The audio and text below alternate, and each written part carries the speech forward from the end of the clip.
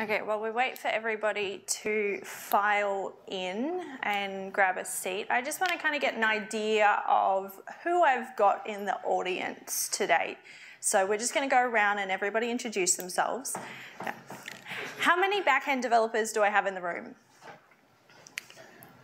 How many front-end developers? How many designers? Managers? Security experts? Did anybody raise their hand for everything? Anybody doing full stack? All of you need to come to the talk that we're doing at the after party tonight. All of you. Um, you will you will get a kick out of that one then. Okay, so we've got a bit of a mix uh, in here, but mostly back-end developers from from what I can see. So hopefully I can show you a little bit about what's going on in the front end today. Um, just give it a, okay. We might get started then. Okay. So for those of you who don't know me, which is most of you, my name's Amy. I'm hoping you managed to get at least that much seeing as you're in my talk. And I've come all the way from Perth. Yes, I took the direct flight that is just under 18 hours on a plane all the way to London, which was kind of. Everybody keep ask, keeps asking me what it was like. It was like, well, it was good because we, when we got off the plane, we were here, but also that was a really, really long way to go. Um, so not sure I can recommend it to anybody if you wanted to come and visit us in Perth, but it, it wasn't too bad um, and it's really exciting to be here. I'm just hoping, so I got in at five o'clock on Tuesday morning and one of the other speakers from Perth had her talk yesterday and about halfway through her talk she just went, whoa, my jet lag just hit me. So I'm really hoping I managed to get through my talk today without that happening.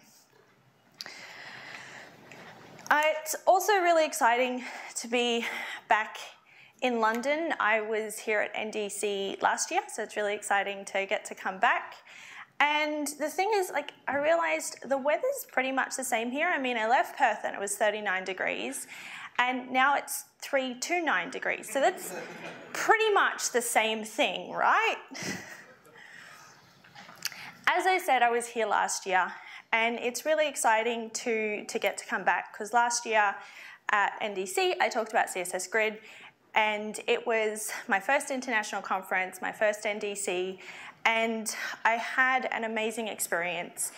The audience here was incredible and there was a lot of support despite the fact that I, so when I introduced myself, I thought I said that it was an honour to be there and turns out I actually told the audience it was on, an honour for them to have me there.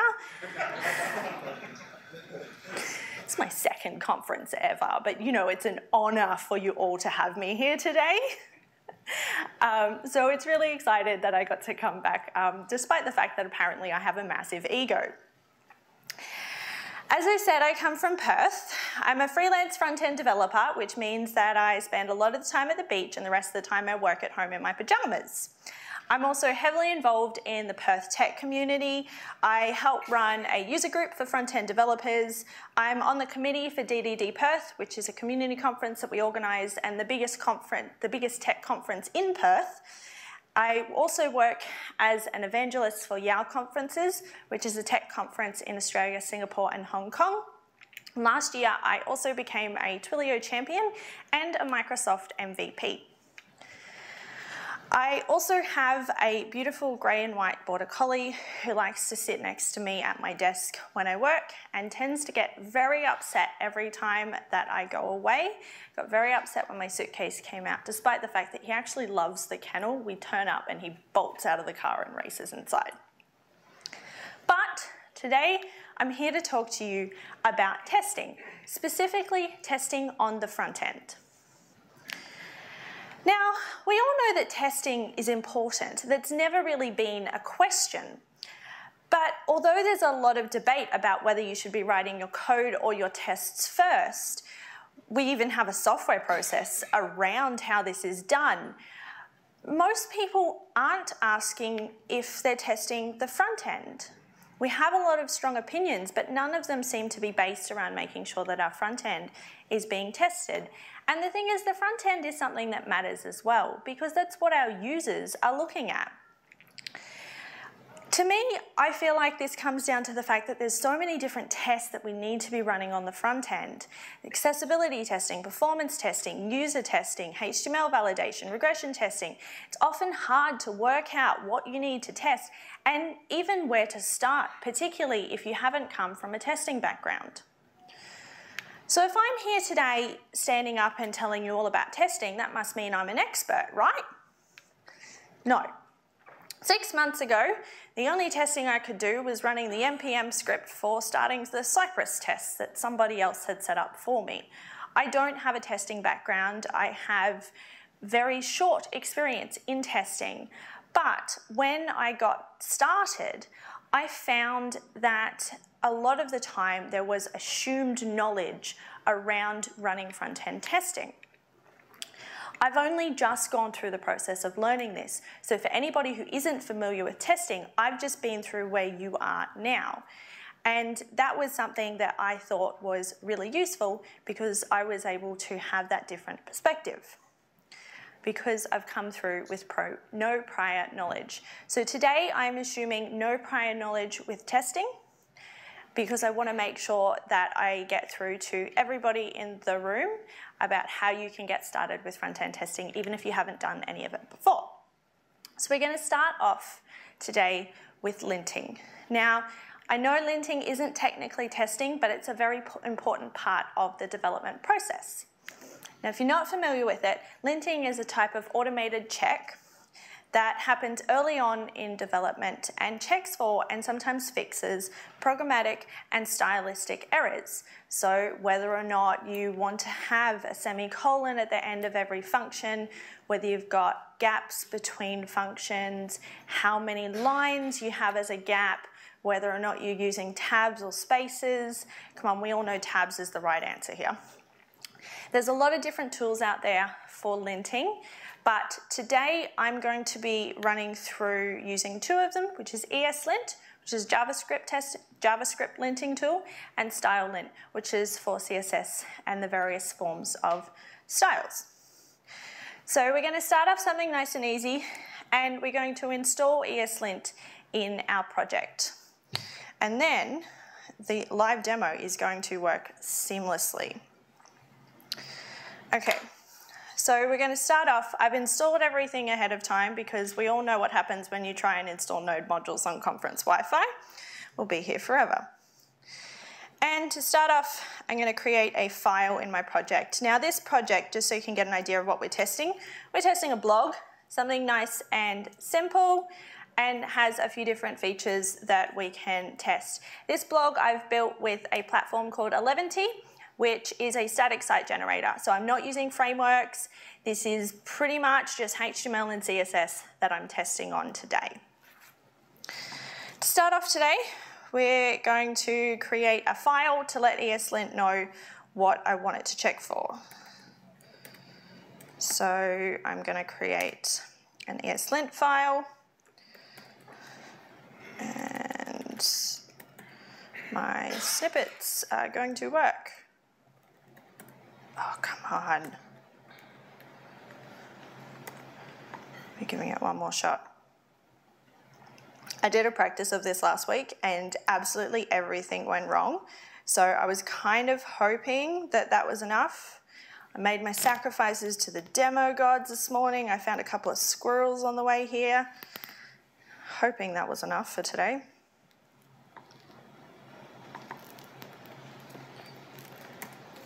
Yes. Okay. Okay, so for our ESLint file, to start off, we have three parts of our file. First is extends. This allows you to extend pre-configured uh, settings that other people use. This is really useful when you're getting started. If you don't know what you want to test for, you can start from somebody else's starter pack. Uh, so I'm using the Airbnb base because they have a pretty good starter starter pack uh, to, to get you started with the linting. You can also include any plugins that you want to use depending on what languages that you're using. I'm not going to include any today. Then you can also set your own rules and these rules will override any of the, the configurations that you're extending. So I am going to include a couple of rules that I don't like the way Airbnb does things. Um, so this is going to, to set things up. All I have to do then is run ESLint in my project.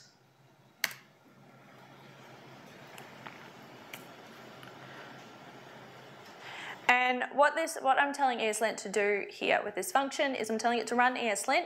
I'm using a fix command which says that if there's anything it can automatically fix, I want it to go through and fix them. So things like trailing commas and semicolons and stuff like that, I want it to automatically fix that. Uh, I also then want it to output all of the results to a JSON file, which I'm putting in a tests folder, and I want it to format that as JSON data. Um, now I'm getting an error here because there's probably something wrong with my code. And if I have a look inside the test folder here, the JSON file and format it so that you can actually read it, I have quite a few tests in here. If we have a look, this will go through and it will tell me the file path that my error is in. So is, are people at the back able to read that? Is that big enough? Yeah. Okay, so it will tell me the file path and it tells me what I'm getting an issue with. And so here it says that there is an unexpected console statement. It's because I've got a setting in ESLint that says that I want it to tell me about any console logs so I don't forget to get rid of them at the end of my file, at the end of my project before pushing so I go through and if I can find this file here, css.js, I can see here, this has given me a error on this console log here because it says that my settings say I don't want to have any of those console logs. Now I'm not going to do, I'm not going to go too in depth into all of this today because there are hundreds and hundreds and hundreds of ESLint settings and we would be here forever and still not get past the whether or not we should use tabs or spaces. So um, if you want to have a look, ESLint has a list of all of their rules and absolutely all of the settings that you can run with them there.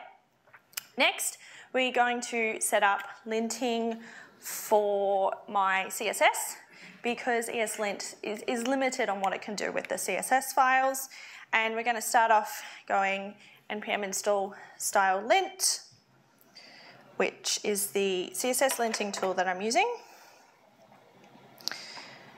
And I'm going to create a file for that one too. That's not what I want.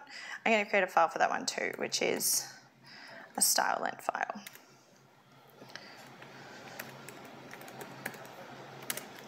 Now, similar to ESLint, uh, with StyleLint, you can set up extends, rules. They also have various processes that you can use. I'm not using any of that today. Uh, you can also set up custom syntax, which I need to use because I'm not actually using CSS files in my project. I'm using Sass files. So I need to let it know that I'm using uh, SCSS files. That way it will know the various different syntax that I'm using there. And I also have a bunch of different rules that I've gone through. Yes, I did actually go through every single style lint rule and decide which ones I cared enough about that I wanted to use. I was really, really bored over the Christmas break. So I'm not going to go through all of the different rules that I have here today, but if we have a look at one of my Sass files, um, say my content file. One of my rules says that I only want to have one line between each of the property function, between each of the function declarations in my Sass file. Now if I add some extra files here, what I also have pre-installed is I actually have a style lint extension in VS Code which it will, is going to give me an output at the bottom. So you can do this with ESLint as well, rather than continually running the function. You can have an extension in your IDE, which will continue to let you know when there are errors. So we can have a look here, and it says that it expected no more than one empty line. And if I go through and remove those, my errors have disappeared. So that means when I'm going through and writing my code, it's going to get rid of a lot of the silly errors that I might make and, and pick them up, which will mean that my tests that I build later on are picking up the actual things that I'm broken, I've broken. Similar to ESLint, StyleLint has a list of all of their rules, so you can go through and have a look at them there. Next, we're going to get started with some testing. And first off, I'm going to look at accessibility testing. Now, accessibility testing covers a lot of various different things, including validating HTML, checking for alt tags on images, looking at color contrast, and making sure that technologies like screen readers or reader modes uh, are able to process the information we have in our applications. That also includes things like Google Home and other voice assistants.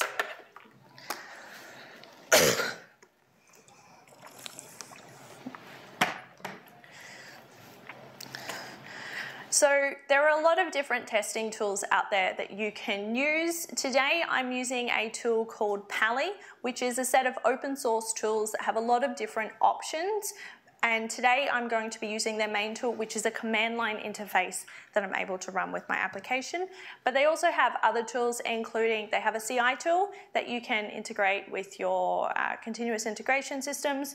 And they also have dashboards and things that you can use if there's any non-technical people in the team who want to see continuous results as things have changed over time. Now, just a little bit of information about Pa11y. Pa11y checks against Web Content Accessibility Guidelines, or WCAG. And these are guidelines that have been set up by the W3C, the Web Accessibility Initiative. There's a lot of acronyms and it's hard to get them all straight.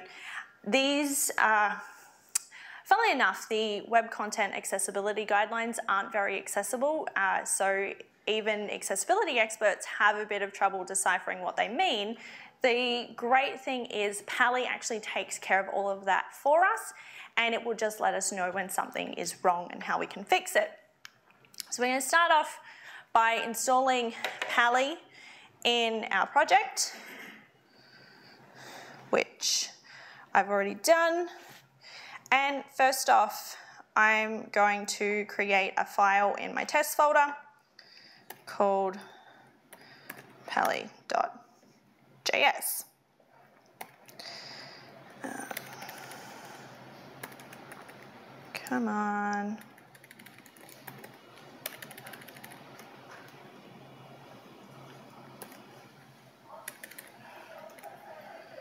This thing's throwing tantrums again.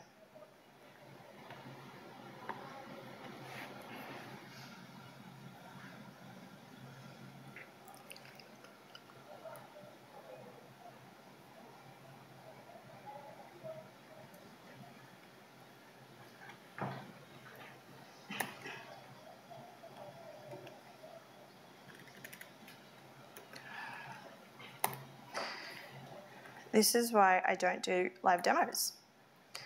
Um, there we go. Okay, so here is a simple test for just running Pa11y out of the box in your project. We need to require the package at the top. I've defined a function to run the test in and at the bottom I'm then running that function. Inside uh, we're doing a promise to get the results from Pa11y, and I'm running that against the website that I've got running locally on my computer. I'm then console logging the results out at the bottom, which you can see ESLint is already throwing tantrums about the fact that I have a console log and my settings say that I shouldn't have them.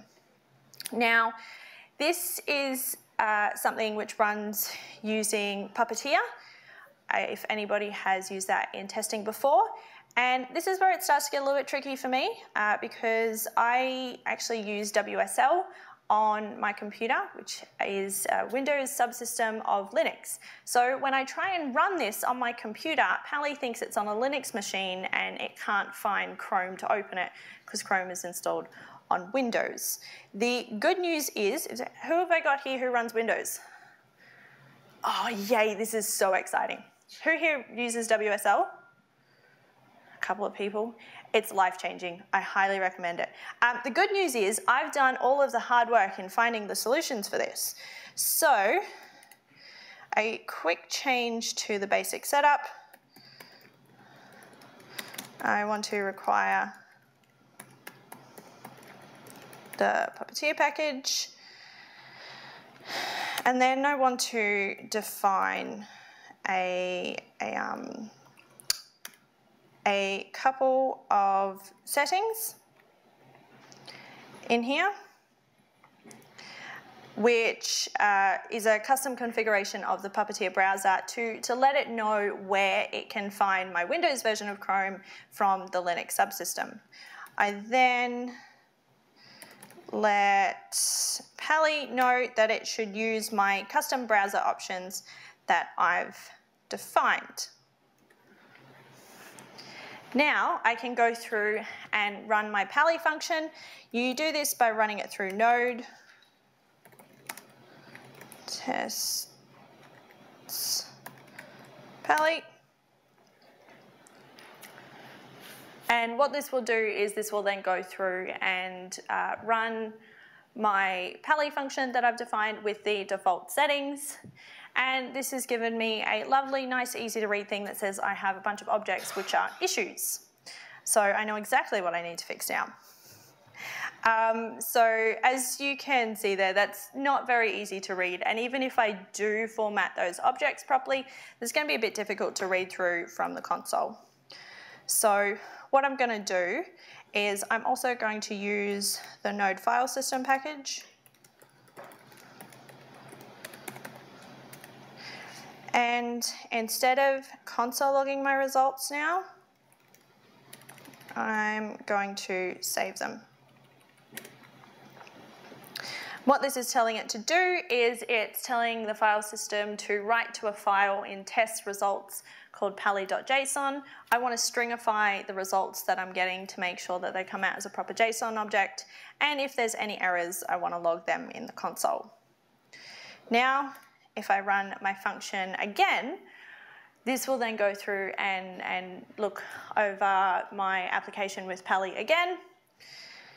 And if I have a look in my test folder, I now have a results folder, and I have a pally.json file, which if I format it, I have a nice long list of accessibility errors in my application. Now, this can be a little bit confusing to start off with, so we're going to have a look at just the first error that I've got here. So this is the information it's given me for this issue. Uh, some of the information we can ignore, so we're just going to have a look at these, which is the code, the type, type code, message, context, and selector. First off, we're going to have a look at the context and selector. This lets us know where we can find the error in our application.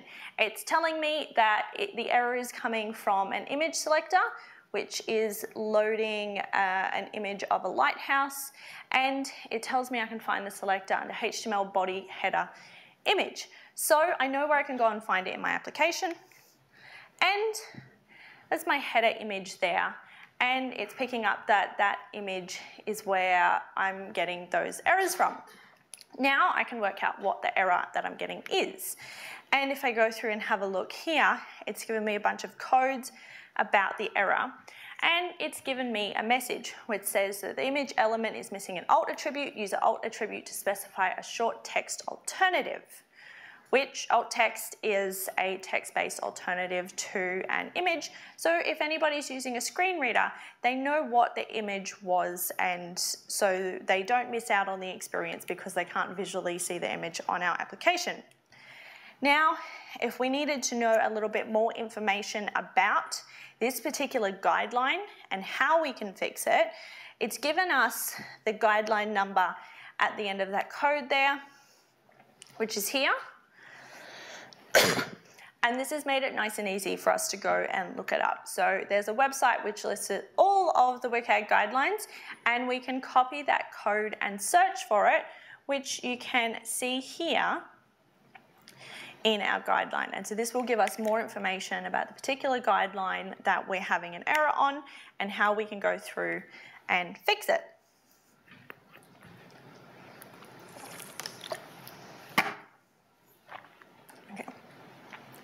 Now, as I said, this is just using Pa11y out of the box. It has a bunch of different options that you can do. So you can define actions. So rather than it just looking at a page, you can get it to click on things navigate around your application and be testing that. You can define specific viewports to test on various device sizes and types. You can, divide, you can define the particular WCAG standards that you're checking against. By default, it checks against the AA standards, which are fairly easy to do, but they're fairly standard. You can also check against the AAA standards, which is the kind of thing that governments have to test against. Similar to various requests, you can also send through particular data and header types if your application needs that.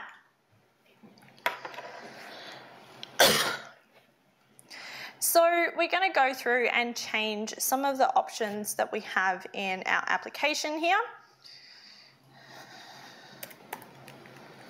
And I'm going to add a couple of extra options. So I've decided that I'm going to be really strict with my application and I want it to I want it to meet the triple A standards, which means uh, I think it's about 3%. It puts the usability of your application up to uh, about 97% of the population. And I also wanted to take a screen capture of what the application look like, looks like when it's running a test. I want to know exactly what's happening in case sometimes it's a bit confusing to work out why it's getting an error. So I've defined those options. I'm going to go through and run my tests again. And what this is going to do now is not only is it going to run the test and output the information, it's also going to give me an image.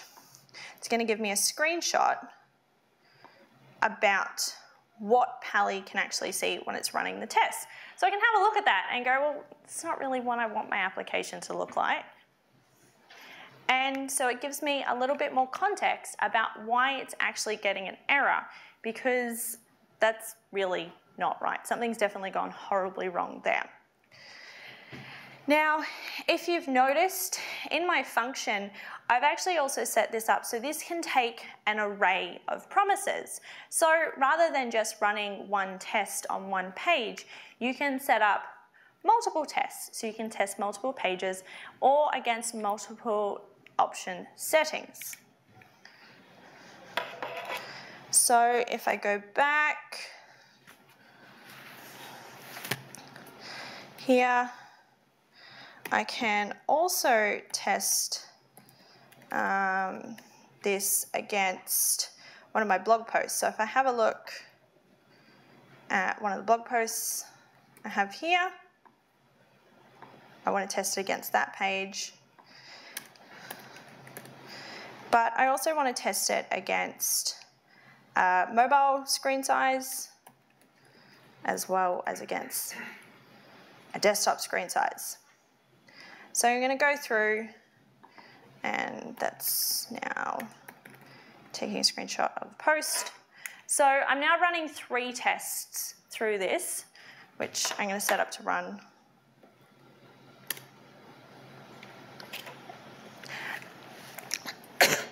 So I'm now running three tests. The first one is now actually checking one of the blog posts on my blog. The second one is running against the main blog page and it's checking at a mobile screen size. And the third one is testing the, uh, the desktop screen size at the home page as well. And while I've done that, it's now going through and my test is finished.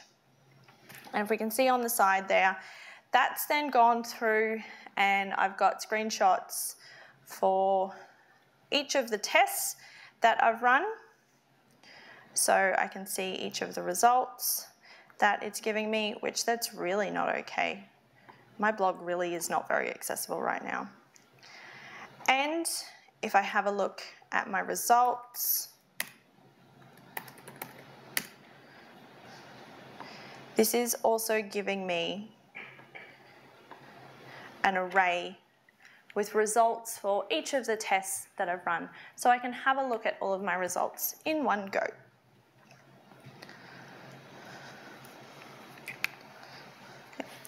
Next up, we're going to set up visual regression testing on my application, uh, which visual regression testing compares screenshots of, it will take a screenshot of your application. When you make code changes, it will take another screenshot and it compares the two of them and the difference. Similar to how Git will give you a diff between the code that you've written.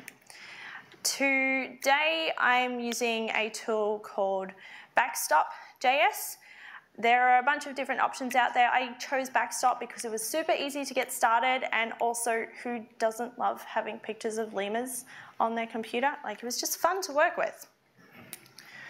Similar to the others, I'm going to go through and install that, but this time I'm installing it globally on my computer. This is so that I can take advantage of Backstop's initialization command. I can run backstop init in my project, which I'm going to do now. What this does is this will actually set up uh, a configuration file and a bunch of different options for me to, to get me started nice and quickly. Now if I wait for this to finish, um,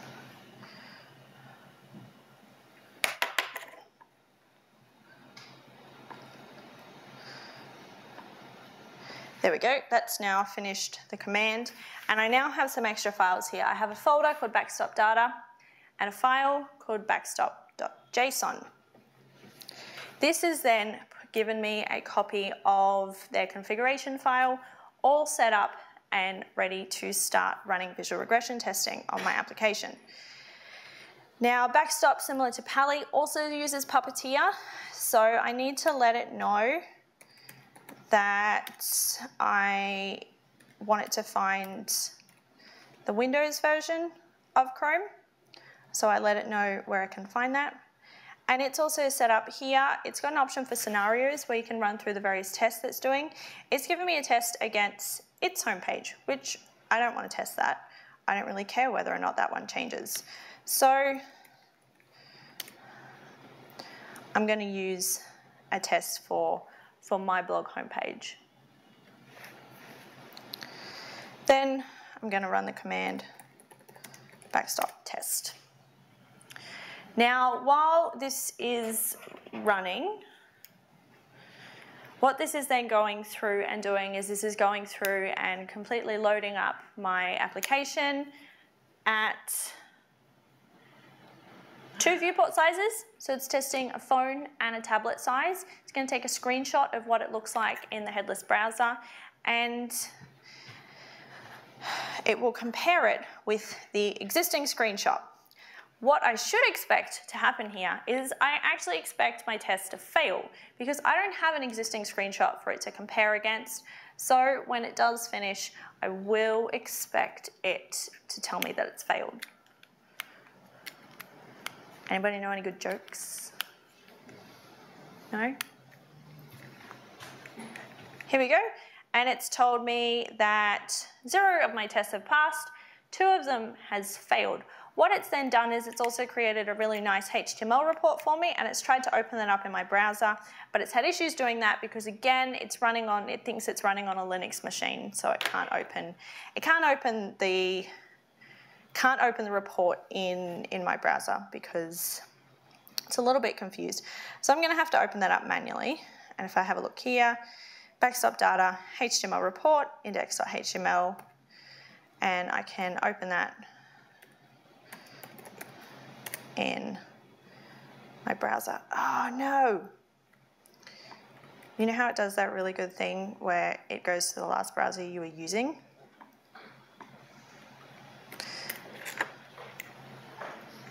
So here we go, it will show me the screenshots that it's got and it's telling me that there's an error because the reference file that it's testing against can't be found. What I can then go through and do is I can tell it that it's okay and that I approve the results that it's getting. So I want to approve the results. What it will then do is it will take the screenshots that it's taken at that test and it's, it's going to copy that in so those screenshots are going to be the new reference images. If I then go through and run that test again, it will be comparing against the original screenshots. So that should go through and pass, but I'm not going to sit there and, and wait for that to happen. We can have a look at that later. Oh wait, no, it seems to be finishing much faster. There we go. Now it's told me that two of my tests have passed, zero have failed, and if I refresh the report there, you can see there it's then comparing the two screenshots and it tells me that none of this has changed. None of this has changed words. Now, visual regression testing uh, may or may not be right for you. It can yield false results because it is comparing every single pixel to every single pixel. This may be what you're after depending on how big your application is or it may be uh, a bit too much. For example, I often get results on my blog because the images haven't loaded in properly. So it tells me that it's changed and that's just because some of the images aren't quite there yet. Good news is there is a setting in Backstop where you can check the threshold so you can let it know the difference that is allowed before it should fail a test.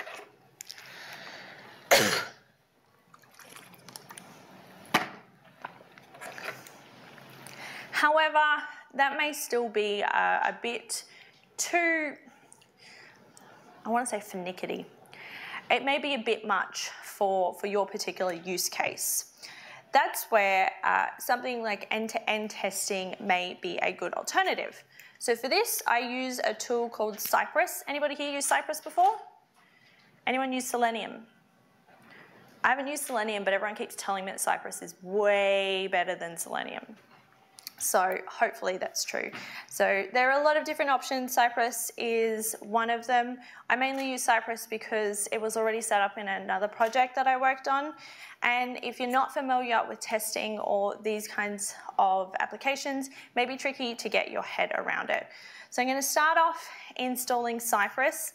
Uh, this one is, I still haven't actually worked out how to run this one on WSL properly, so I do just run this one on, on Windows because it can be a little bit tricky. Now, the good thing about the good thing about Cypress is it will also give you uh, a bunch of information to start with. If you run the function for Cypress open, it will actually give you which I should already have it here. No, I deleted it because I was going to start from scratch today. Okay, so if I run the command for Cypress open, what that will do is that will go through and it will give you starter setup to work with, including a bunch of examples, which I'm hoping this shouldn't take too long. Just thinking. So as I said, I am running Cypress directly on my Windows computer, not using WSL because it does run into issues there. If anybody happens to work out how to run Cypress on WSL, please let me know. I would love to stop having to switch back and forward between terminals. Um, come on.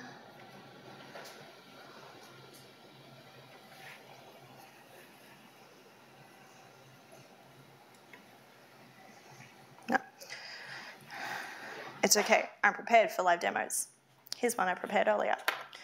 Okay, so we're running the command for Cypress open, if I can spell it properly, and this one will take a while. And what this does is this will then open up the, the Cypress task runner, which, as I said, it's given us a bunch to get started with, including a heap of example tests that we can have a look at. So it's given us a bunch of tests to, to start off with. But we want to write our own test. So inside of the Cypress folder, inside of the integration folder, we're going to create a new file um, and we're going to call that test.js because naming things is hard. And if we have a look back inside of the Cypress task runner, that has already picked up our new test file that we've put there. Now, oh wait, I think that's looping. Okay. So I can go through and have a look at some of the tests that I want to run within Cypress. And they're gonna be looking a little bit like this. Anybody not familiar with tests that look like this? A couple of people? Okay. So what this does is, oh, first of all, the describe lets me know the name of the test that I'm running. Before function is something that will run at the start of the test. And for the before function, I'm letting it, Cypress know that I want it to visit the website in the Cypress browser.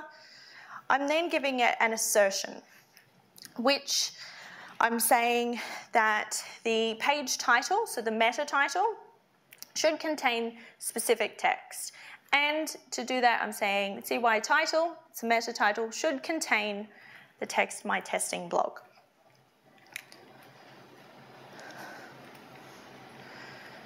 Now, Cypress uses a, a framework called Chai.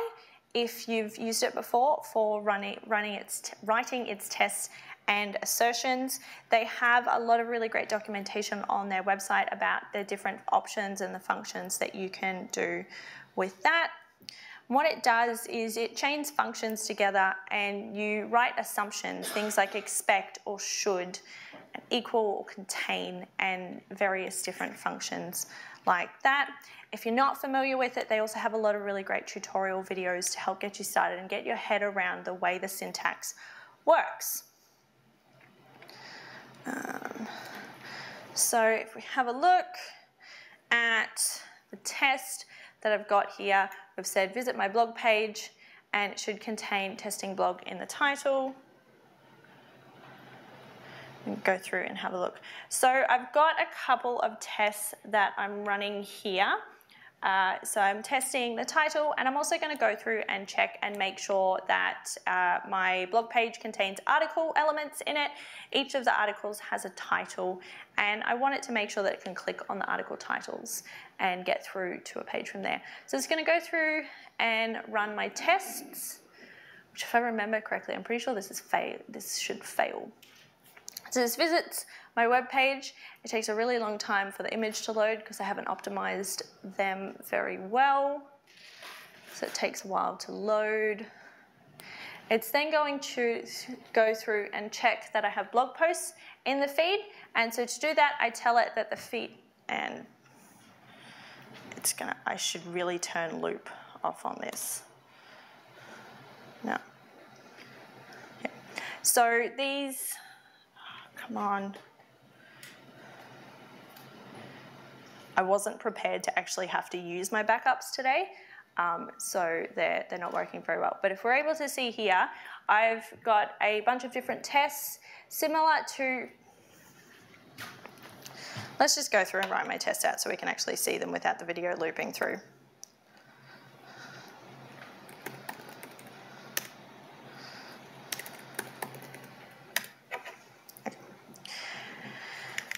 So here, before we tell it to visit our web page. It should contain my testing blog in the title. I then want it to get the element with a class of feed and find an article element inside of that. Should have at least one blog post in there. I want it to check that each of the articles that it finds should have a heading inside of them. And I want it to find a head, the first heading, get a link inside of that, and I want it to click on it and make sure it can go through to the blog post from there. Similar to the other tools that we looked at, you can also go through and define the various viewports or devices that it's testing it on. So you can test it against a mobile screen. So for example, on mobile, I wanted to make sure that my styling's not gone really funky. So I wanted to make sure that the heading is still visible and on the page. And you should be able to click on the header to get back to home. Which it's going to go through and run this test now. So here's the mobile test that we've just gone through.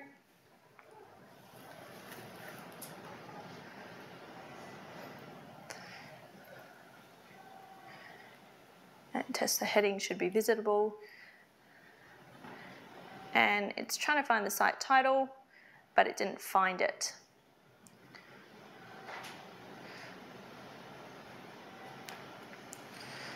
Okay. This is when you can also go through and you can have a look at the, the various words. Um, the HTML DOM tree. You can have a look at the HTML elements that are on your page so you can see what it looks like and work out from there why a test should be failing. Okay, so, so far, what have we done? Linting, set that up. Accessibility testing, set that up. Visual regression testing, set that up. End-to-end -end testing, let's pretend we set that up. Let's pretend that actually worked. That's pretty good. That's not bad, right? For an hour talk, we've managed to set up a bunch of tests on our application and we're ready to get started. Now, one type of front-end testing that I did mention at the start is performance testing, which I haven't gone into today, mainly because, you know, the performance of anything on conference Wi-Fi would be horrific and my roaming data probably isn't much better. However, there's a talk that you can go to later on today. Lemon is talking about performance uh, by shrinking the web and something about you know the meaning of life and how to be happier. So check that out. That's in room two at 5:40 today. If you want to find more about performance and performance testing, there are a bunch of other resources out there as well. So NDC last year, Jennifer Wadella gave a talk about Pa11y. So if you want to find out more information about what you can do with that, her talk is available on YouTube or you may even be able to find Jennifer roaming around the conference.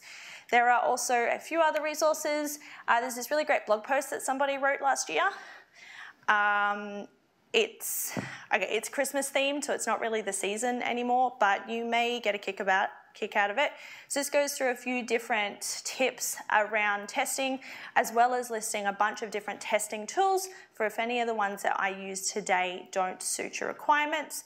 There's also another blog post which came out earlier this month as part of JavaScript January, which is getting started on front-end testing. I'll be honest, I wrote that one too. Um, but that basically goes through the tests that I wrote today. So it's a blog post version of the talk with actually working demos, so the code actually works. Thank you very much for having me here today. Um, you know, as, as you know, it was an honor for you to have me here today. I will be around the, the rest of the conference. If you have any questions or please feel free to message me on Twitter and you know tell me my live demos were horrific and I should never do that again or to tell me how I can use Cypress and WSL. That would be amazing. Uh, if anybody has any questions, I do have Australian chocolates here, but if you're still not game enough to ask me a question today, you can find me later. Thank you.